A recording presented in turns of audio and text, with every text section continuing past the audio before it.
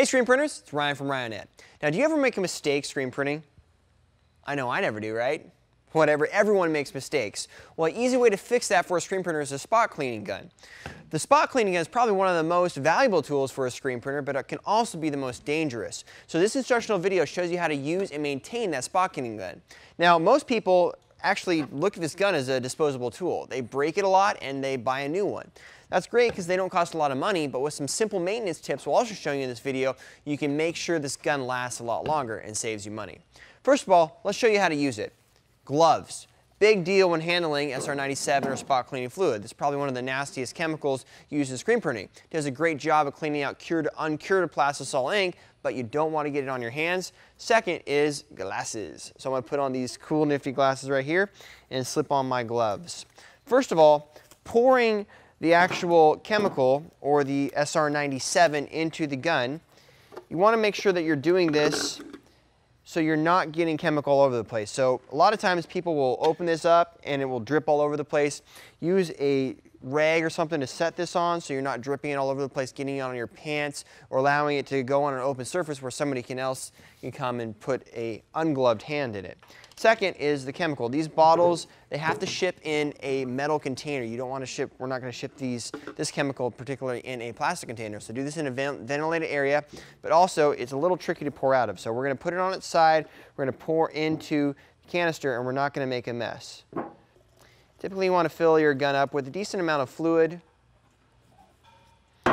And there we go. We got a little spillage right there, but you just want to make sure that you're doing that on a clear area. If you do spill, once again, this does evaporate fairly quickly, but you can just take a rag and then don't use that rag until it evaporates out. Once this fluid evaporates, it's going to be just fine, but you don't want to use it or don't want to get it onto ungloved surfaces or unprotected surfaces until it evaporates.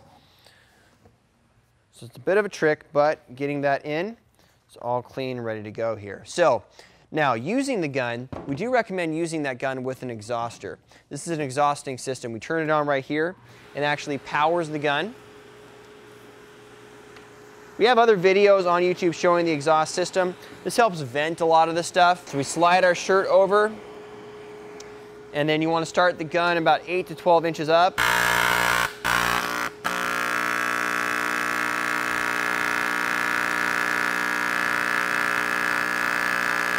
and then clean out your, your mess.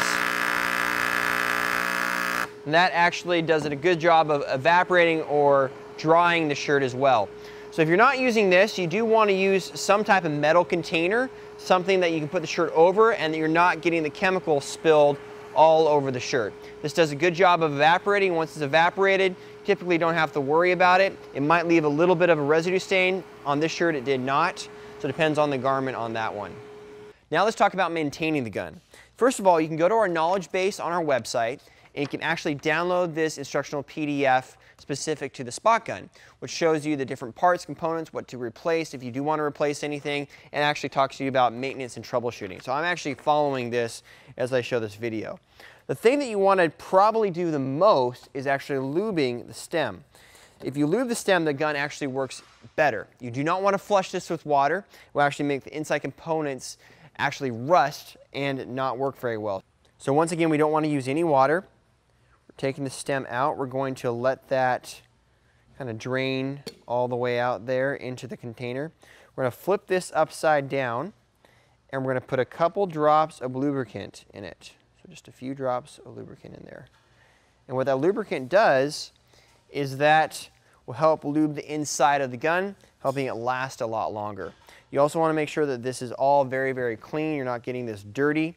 Um, sometimes dirt can get in the tip right there. We can unscrew that and actually blow that out. So a couple different ways to unscrew the tip. You can screw it right here and then blow that out to make sure that there's no small dirt particles, rust. You can also replace these tips. We do have these tips available if the tip does go bad. So you can take the entire tip off like so and replace it. Make sure it's all clean. There's some dirt in that one. And then make sure that you just put it together the same way that it came. Okay, once it's all screwed down, you might want to actually get a crescent wrench or something like that and make sure it's tightened all the way. Sometimes if this is not tight, you're not going to get a steady stream. You want to put that back in. Always make sure that everything is screwed down all the way. Once again, we're wearing gloves during this whole thing. Then we can turn it back on. And it's working just fine.